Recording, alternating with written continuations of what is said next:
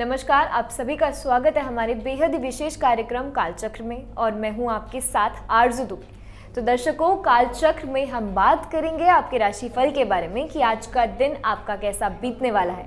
आचार्य हिमांशु उपमन्यु जी के माध्यम से, जो कि इस वक्त हमारे साथ स्टूडियो में मौजूद है। तो चलिए मिलकर स्वागत करते हैं आचार्य जी का। राधे राधे आचार्य राधे राधे रामाय रामभद्राय रामचंद्राय वेदसे रघुनाथाय नाथाय सीताय पतये नमः।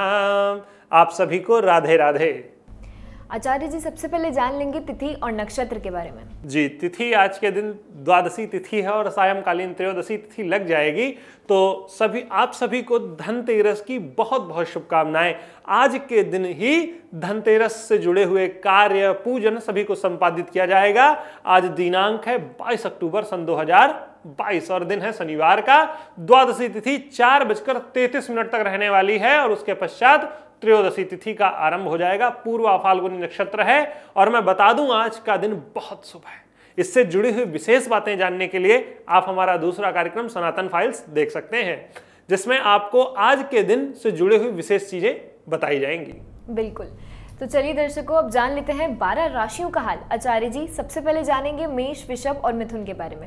जी मेष राशि के जातकों के लिए मैं जैसा कि आज का दिन देख पा रहा हूँ कहीं ना कहीं उनका जीवन साथी उनसे नाराज़ रहने वाला है और शारीरिक परिस्थितियाँ भी उनके पक्ष में मुझे होती हुई नहीं दिखाई दे रही हैं। जीवन साथी को प्रसन्न करने के लिए आज आप एक उपाय कर सकते हैं। क्या? आज के दिन धनतेरस है कुछ ऐसा उपहार लाकर अपने जीवन साथी को दे दीजिए, जिससे उसका मन प्रसन्न हो जाए। अब बात कर ली जाए अगर वृक्ष राशि के जातकों के बारे में तो वृक्ष राशि के जो जातक हैं, उनके लिए आज के दिन परिस्थितियाँ थोड़ी सी कठिन है। कठिन क्यों है?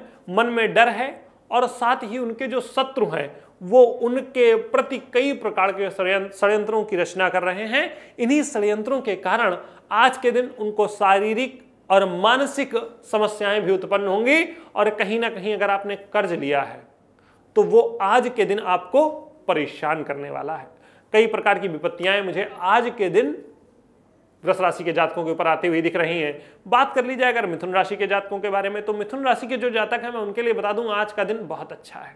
आज बहुत अच्छा क्यों है? क्योंकि आज के दिन आपकी संतान के द्वारा कुछ ऐसा प्राप्त होने वाला है, कुछ ऐसा कार्य होने वाला है, जो आपके मन को हर्षोल्लास से भर देगा। हो सकता है आपकी संतान कहीं दूर रहती है तो त्यौहार में आज के दिन आपके सन्मुख उपस्थित हो जाए, आपको आज के दिन अपनी संतान से मिलने का अवसर प्राप्त हो जाए, इसके बहुत अधिक योग बनते हुए दिख रहे हैं। साथ ही सामाजिक परिस्थितियाँ भी मुझे कहीं ना कहीं आज के दिन आपके पक्ष में रहती हुई दिखाई दे रही हैं। आप जो चाहें वह कार्य आज के दिन संपादित कर सकते हैं, आपको पूर्णता प्राप्त होगी।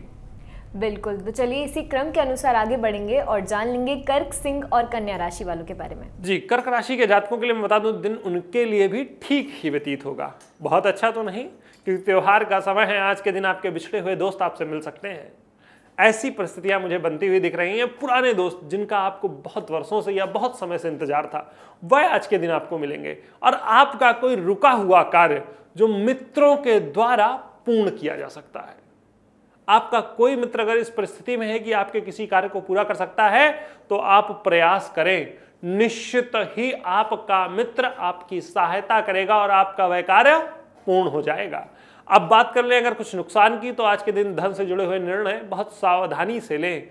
उत्साह में आकर के धन का खर्च इस प्रकार से ना करें कि आपको आने वाले समय में समस्या का सामना करना पड़ जाए। बात कर ली जाए अगर सिंह राशि के जातकों के बारे में तो सिंह राशि के जातकों के लिए आज सब अच्छा ही अच्छा है। अच्छा ही अच्छा क्यों है? क्योंकि आज के दिन सिंह राशि के जातकों का भाग्य उदय होने वाला है। उनका भाग्य उनकी हर प्रकार से सहायता करेगा। वो कोई भी कार्य करना चाहते हैं तो आज के दिन ज़रूर कर लें। और विशेषकर आज के दिन अगर आप धन का निवेश कहीं करना चाहते हैं तो आपको बिना देरी किए आज के दिन धन का निवेश कर देना चाहिए। अगर आप ऐसा करते हैं तो निश्चित ही आपके उस धन में वृद्धि हो जाएगी। बात कर ली जाए अगर कन्या राशि के जातकों के बारे में तो कन्या राशि के जो जातक हैं, आज के दिन उनका धन, दिन जो है वो धन के लेन देन में व्यतीत होने वाला है। जो व्यवसायी हैं तो मैं उनको बता दूँ, आज के दिन आपके पास धन का आगमन भी पर्याप्त होगा और धन का गमन भी पर्याप्त होगा। आपसे धन जाएगा भी बहुत। तो इस बात को लेकर बहुत परेशान ना हो क्योंकि धन आपके पास इस मात्रा में आएगा कि उसके जाने का कष्ट आपको नहीं होना चाहिए। बिल्कुल। आचार्य जी तुला वृश्चिक और धनु इनके दिन में आज क्या कुछ खास होने वाला है? जी तुला राशि के जातकों के लिए मैं बता दूँ आज का दिन बहुत ही अच्छा है। बहुत ही अच्छा जिस जिस प्रकार का बहुत अच्छा सिंह के लिए है उसी प्रकार का तुला के लिए है। तुला राशि के जातकों को आज जो चाहिए वो प्राप्त कर सकते हैं। उनका भाग्य तो मैं नहीं कहूँगा लेकिन भोग की सभी वस्तुएँ उन्हें प्राप्त हो जाएँगी, अर्थात परिश्रम आज के दिन उनका सफल होगा। कब होगा? जब वह करेंगे। अगर बिना किया परिश्रम कभी भी सफल नहीं होता है कि आपने कुछ किया ही नहीं, कहा, पंडित जी, कुछ प्राप्त ही नहीं हुआ तो मैं पहले ही बता दूँ अगर आज आपके दिन, आज के दिन आप परिश्रम नहीं करेंगे तो कुछ प्राप्त नहीं होगा। परिश्रम करेंगे तो सब कुछ, प्रसन्नता, धन, धान्य, व्यापार, रोज़गार, जो चाहते हैं वो प्राप्त हो जाएगा। बात कर ली जाए वृश्चिक राशि के जातकों के बारे में तो वृश्चिक राशि के जो जातक हैं आज के दिन उनके धन में वृद्धि होगी।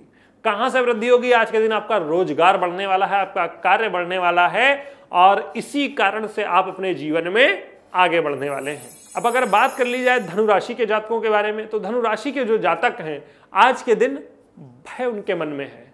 क्यों है? क्योंकि उनकी शारीरिक परिस्थितियाँ उनके पक्ष में मुझे नहीं नज़र आती हैं। शारीरिक परिस्थितियाँ बार बार नए तनाव लेकर धनुराशि के जातकों के सन्मुख उपस्थित हो रही हैं लेकिन धन से जुड़े हुए कार्यों के लिए मैं फिर कहता हूँ आपके लिए भी ये दिन बहुत श्रेयस्कर है बहुत अच्छा है। आज के दिन कहीं भी धन का निवेश करने से पहले बहुत विचार ना करें। तो चलिए दर्शकों हमने नौ राशियों का हाल समझ लिया है। अब अंतिम तीन राशियों की तरफ़ बढ़ते हैं और आचार्य जी से जानेंगे मकर कुंभ और मीन के बारे में। जी मकर राशि के जातकों के लिए मैं जैसा कि आज के दिन देख पा रहा हूँ स्थितियाँ अच्छी नहीं है। स्थितियाँ अच्छी ना होने का कारण क्या है? कारण यह है कि उनकी पारिवारिक कला है कहीं ना कहीं आज के दिन उनके परिवार में जो परिस्थितियाँ उत्पन्न होती हुई मुझे दिखाई दे रही हैं, वो अच्छी नहीं है। उसका कारण क्या है? आज के दिन कुछ ऐसा घटित होने वाला है, जिसकी मकर राशि के जातकों ने कल्पना भी नहीं की है। तो आपको आज के दिन अधिक से अधिक सावधान रहना है, अन्यथा आप अपने कर्म और अपने जीवन के स्वयं जिम्मेदार होंगे। इसकी ज़िम्मेदारी आपके परिवार का कोई सदस्य भी नहीं लेगा। अब बात कर ली जाए अगर कुंभ राशि के जातकों के बारे में तो कुंभ राशि के जातक आज पता नहीं किस ख्याल में खोए हुए हैं, बड़े प्रसन्न हैं। उनको कारण नहीं समझ में आ रहा है, लेकिन प्रसन्नता है जो मन से जा ही नहीं रही है। जीवन में ऐसे दिन बहुत कम आते हैं, ये वही दिन है कुंभ राशि के जातकों के लिए, जो उनको सिर्फ़ और सिर्फ़ ऐसे समाचार या ऐसे कार्य होंगे जो सिर्फ़ उनको प्रसन्नता देंगे। धन कितना मिलेगा? मैं नहीं कहूँगा, लेकिन प्रसन्नता आज के दिन आपको भरपूर मिलने वाली है। आपके संबंध, आपके मित्र, आपके अपने, आपका व्यापार सब ओर से आपको प्रसन्नता मिलेगी। अब बात कर ली जाए अगर अंतिम राशि, मीन के बारे में। तो मीन राशि के जातकों का दिन भी आज बहुत अच्छा है। अच्छा होने का कारण क्या है? आज के दिन उनकी जो शारीरिक समस्याएँ थी, उनका निवारण हो जाएगा, कोई अच्छा डॉक्टर उनको मिल सकता है। और जो मीन राशि के जातक धनतेरस या दीपावली के समय पर कुछ बहुत अच्छा खरीदना चाहते हैं तो मैं बता दूँ, आज के दिन निश्चित ही आपको सफलता प्राप्त हो सकती है। संपत्ति पाने के योग मुझे आज के दिन मीन राशि के जातकों को, मीन राशि के जातकों के लिए बनते हुए दिखाई दे रहे हैं तो आपको प्रयास करना है कि आज के दिन आप विलंब ना करें और कुछ भी खरीदना है तो तत्काल जाकर खरीद लें। बिल्कुल। तो बारह राशियों का हाल हम लोगों ने समझ लिया है। वो वक्त आ गया है जब हम आचार्य जी से जानेंगे आज का शुभ और अशुभ मुहूर्त के बारे में। जी, आज के दिन राहु काल है, प्रातः काल नौ बजकर दो मिनट से दस बजकर बत्तीस मिनट तक और गुलिक काल है छह बजकर तेईस मिनट से सात बजकर अड़तालीस मिनट तक। यह वह समय है जब आपको कोई भी शुभ कार्य या पूजन इत्यादि आज के दिन का संपादित नहीं करना है और आज का जो अभिजित मुहूर्त है ग्यारह बजकर तैतालीस मिनट से बारह बजकर उनतीस मिनट के मध्य रहने वाला है इस समय पर आप कोई भी शुभ कार्य संपादित कर सकते हैं। जी बिल्कुल। आचार्य जी वैसे तो आज धनतेरस है। मैं जानना चाहूँगी धनतेरस भी है और जिन लोगों का आज राशिफल अच्छा नहीं है वो अपने धनतेरस को और खास बनाने के लिए ऐसा क्या उपाय करें और अपनी राशि को और बेहतर बनाने के लिए ऐसा क्या उपाय कर सकते हैं? देखिए एक तो धनतेरस है भगवान धनवंतरी का दिन है और उसके साथ ही आज के दिन शनि प्रदोष भी है। ऐसे योग जीवन में बहुत कम देखने को मिलते हैं कि शनि प्रदोष हो और धनतेरस भी हो। तो आज के दिन का जो उपाय है, वो महा उपाय है। वह यह है कि आज के दिन आपको 11 बलपत्र लेकर के भगवान शिव के सामने समर्पित कर देने हैं और उसके पश्चात भगवान विष्णु के चरणों में दूध से बनी हुई मिठाई तुलसी दल के साथ भोग लगा देनी है। आप जीवन में जो चाहते हैं, वो प्राप्त आपको सुगमता से हो जाएगा। बिल्कुल। तो चलिए, आज के लिए कालचक्र में बस इतना ही। कल फिर हाजिर होंगे एक नए विषय के साथ। आपके दिन भर के राशियों के हाल के साथ, तब तक के लिए आप मुझे दीजिए इजाज़त और आप सभी को कैपिटल टीवी की ओर से धनतेरस की हार्दिक शुभकामनाएँ। नमस्कार।